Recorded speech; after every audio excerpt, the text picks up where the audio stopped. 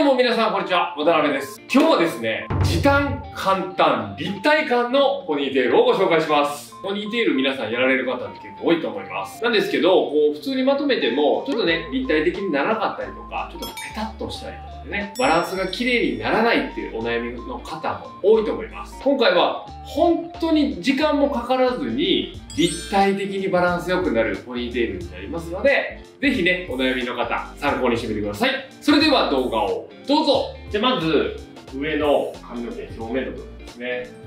をざっくりでいいので、このくらいの毛束をまず上に上げておきます。で、残りの毛束を後ろでまとめていきます。でこの時にブラシだったりとかで溶かしながらまとめてあげると、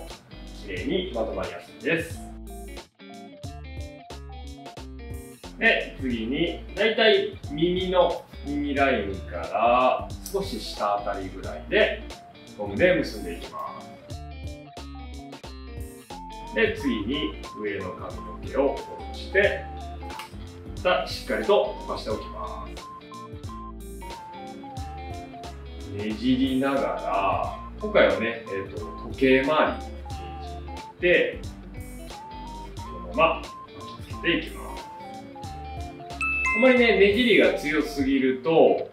結構ね、あの硬くなりすぎるので、本当にね、軽くねじって、少しこう、丸みが出るぐらいでやっていただければいいかなと思います。こんな感じです。で、巻きつけた毛先の部分を下に、内側にね、入れて、この上からゴムで結んでいきま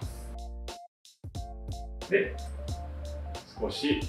毛先の部分2つに持ってギュッと締め上げるときつくまとまります。この辺の部分ですねゴム巻いた部分だったりとかを少し隠すように巻きつけた髪の毛をちょっと広げます。でこの部分を持ちながらここにねボリュームがない方もいらっしゃるかなと思うので少しね頭の形丸みを見せるようにちょっとだけ出すぐらいボリューム出します。なんかこう引っ張った時に出てくる髪の毛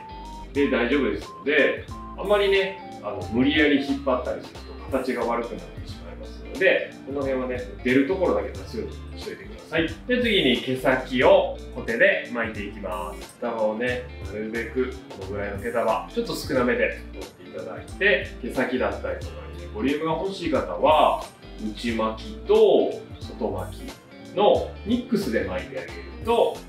ボリュームが出やすいです。逆にボリュームダウンしたい方に関しては巻かないかもしくは外巻きだけでやってあげるとボリュームダウンして少しね上品な形にもなります。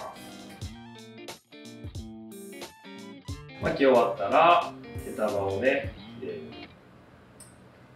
出すように少し広げてあげてください。最後にお好みでヘアアクセを斜めにつけていきま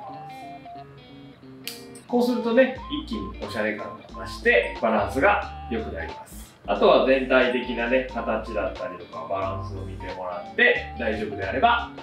完成です。